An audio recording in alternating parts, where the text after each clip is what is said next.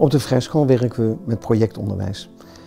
Dat betekent dat we elke ochtend twee uur lang, vijf ochtenden in de week, gedurende drie weken één vak onderwijzen. We geven drie weken geschiedenis, bijvoorbeeld in de brugklas over de ontdekkingsreizigers. We werken drie weken aan wiskunde en het is duidelijk dat je dan de versnippering tegengaat. In het reguliere onderwijs wordt 50 minuten het een, 50 minuten het ander gedaan. En aan het eind van de dag vraagt een kind zich af, wat heb ik eigenlijk meegemaakt? Dus tegen de versnippering geven we projectonderwijs en het geeft ook de mogelijkheid om te verdiepen. Wat specifiek voor het vrij schoolonderwijs geldt, wereldwijd, is dat in dat projectonderwijs geen boeken worden gebruikt. Dus de leraar, de meester of die vertelt en probeert dat zo beeldend mogelijk te doen. Over Columbus die Amerika ontdekt. Het gaat niet over een jaartal, maar over de reis.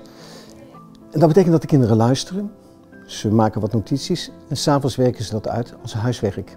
Dat betekent dat ze spelenderwijs leren samenvatten, leren schrijven, leren dat te verwoorden wat ze denken, voelen en willen. En zonder dat dat als een verplichting geldt, zonder dat dat een toets is, maken ze een eigen lesboek. Want na drie weken is dat schrift vol, leveren ze het in en begint er een nieuwe periode.